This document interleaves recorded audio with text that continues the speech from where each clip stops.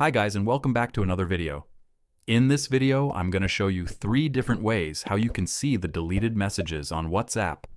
So if someone sent you a message on WhatsApp, but they deleted it, there are a couple of ways how you can see those deleted messages even after they deleted them. Just follow my steps and watch the video until the very end. The first method is to open the settings on your phone and then open the notification settings. After that, find WhatsApp on this list to open the app notification settings. Keep in mind that this first method doesn't work for iPhone, but it works on Android devices. If you go to the WhatsApp app and you are on this page here, it should show all the recent notifications on WhatsApp. It will show two notifications. One of the notifications are them sending the message, and it should say exactly what they said in that message. And then it will say, this message was deleted. So that are the two notifications that you'll get. You want to look at the first notification, and you will be able to see the deleted message on WhatsApp. However, if you don't get these notifications, or you have an iPhone and not an Android device, then there is another solution. What you want to do is to exit this and then open WhatsApp.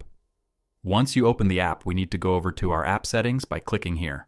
Now open the chat settings, then open the chat backup, and then make sure that you have the auto backup option enabled in here and set it to daily backup. What this will do is it will save the chats to our iCloud, and when someone sends you a message, but the app creates a backup of the chat, then that message will be saved and you will be able to view it. And if they delete the message after the backup, you'll still have it saved and you can view the deleted message. But if they delete the message that they send you before WhatsApp creates a backup, then you won't be able to see it. So make sure that auto backup is enabled in the app and that it's set to a daily backup. But if the first two methods didn't work for you, then I have a final solution, which is probably the best one. What you want to do is to open the App Store or the Google Play Store and then search for WhatsApp History.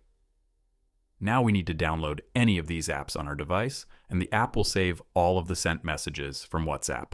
Or you can search for notification history and download any of the apps in here, and that will save your notifications or your WhatsApp history. And by using these apps, you will be able to see your deleted messages on WhatsApp. Now, if this video helped you out and you were able to see your deleted messages on WhatsApp, then leave a comment down below and consider subscribing to the channel. It would mean a lot. Thank you so much for watching and see you soon.